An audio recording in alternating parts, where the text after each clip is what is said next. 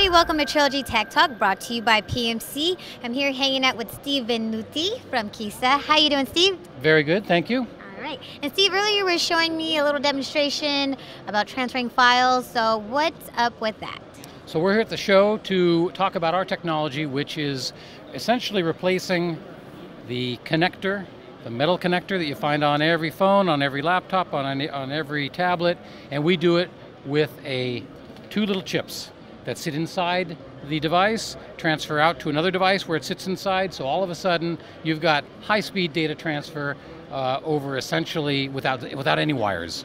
Nice. And how is it possible that you have crammed such a, a device like this and like this into a small little chip like that? Well, that's why we have five years of R&D behind this and a lot of engineers working on this. Essentially, we've taken an old technology and, uh, and, and reinvented it.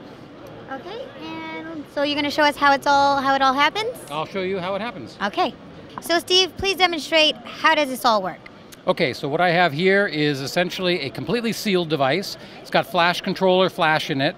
It's got wireless power, and it's got our technology, again, these high-speed chips inside that are going to transfer to this, where we've got the same thing embedded in this laptop. This is just something we did for demo purposes.